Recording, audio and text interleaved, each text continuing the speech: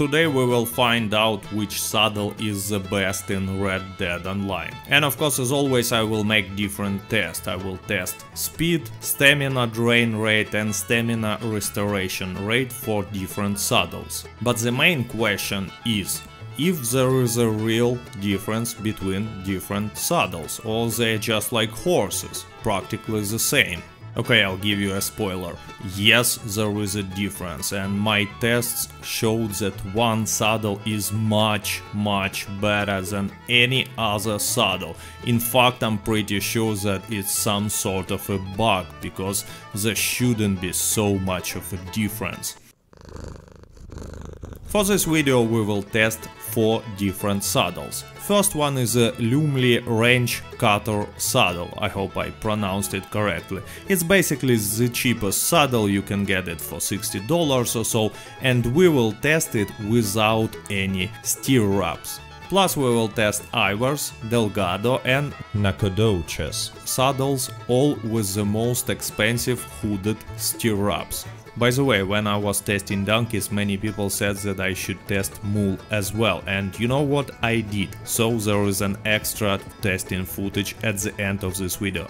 First of all, we are going to test running speed, because saddles and stirrups are changing speed and acceleration stats for horse. And with the cheapest saddle and no stirrups there is no additional bars, with the Delgado or Ivers saddle plus hooded stirrups there are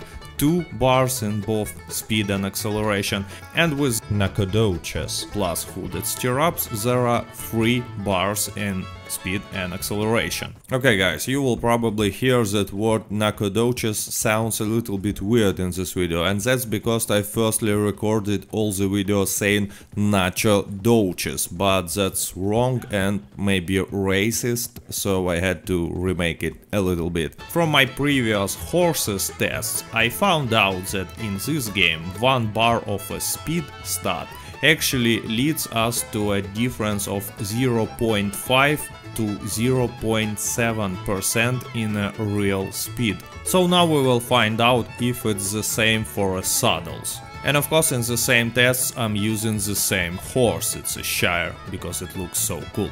So first of all I've compared the cheaper saddle and the Nacogdoches saddle, because they have a difference of uh, 3 bars. I've made two tests on a different roads and I found out that on a 60 second distance there is a 1 second difference, which equals to 1.7% real speed difference, just as I've expected from a 3 speed bar difference. Also I've compared Delgado saddle, which has 2 bars in speed, with the Nacogdoches saddle, which has 3 bars in speed. To do so I've ride it on the railroad from the Emerald station to the Valentine station. For Delgado it took 2 minutes 11 seconds and for Nacogdoches it took 2 minutes and 10 seconds. So again, difference in one bar leads us to only 0.7% in uh, real speed. So for saddles it works exactly the same as for horses and one stats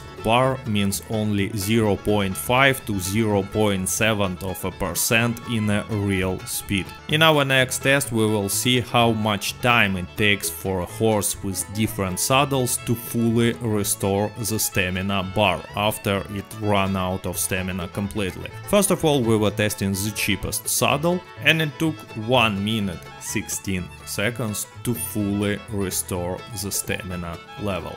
Next one is Delgado saddle and I wasn't testing Ivers here because from the stats they seem pretty similar with Delgado.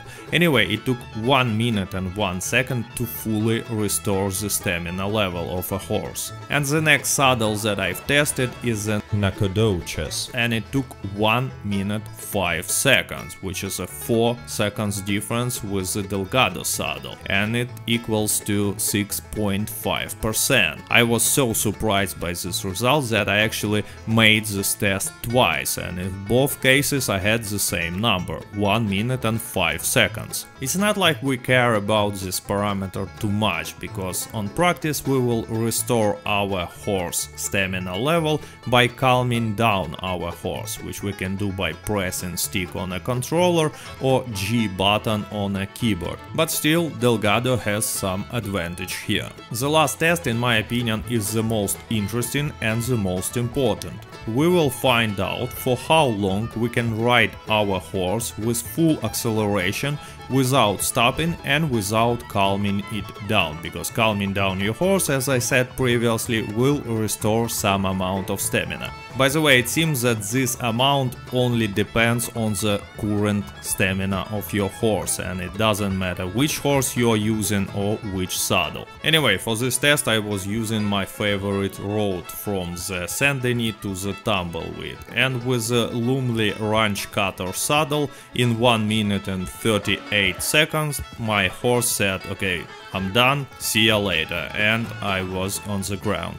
And I remind you that with this saddle I'm using the cheapest stirrups that are giving you absolutely nothing. The next one was the Ivor saddle with the hooded stirrups. I've managed to ride for 3 minutes and 3 seconds and almost left the Lemoyne. Delgado goes next, and you know what, the stats for Delgado and Ivers are pretty much the same, and the result was also pretty much the same. 3 minutes and 1 second, and the distance is like 25 meters smaller than with the Ivers saddle. And now it's time for some weird stuff. Nacogdoches. And it's not only the name of the saddle is weird to me. And I understand that in Spanish it might mean something, or maybe in Mexico this word is widely used, but to me it sounds kinda weird. Just imagine if the saddle was named Kulebyaka, which is an actual Russian word.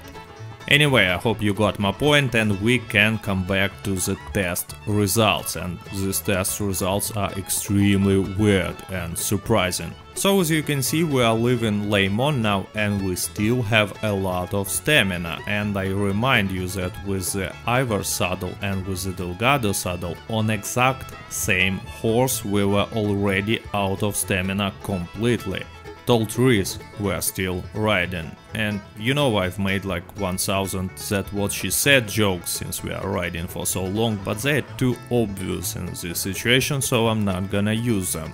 We fell from our horse only after 9 minutes and 47 seconds, which is almost 10 minutes. It's, it's more than half of the distance from Saint-Denis to Tumbleweed, it's actually two thirds. I was so surprised by this result that I've tested it one more time and again I was able to ride for like 10 minutes. But the next result is even more surprising. I decided to repeat Nacogdoches. test but with the regular stirrups instead of hooded stirrups and you know what?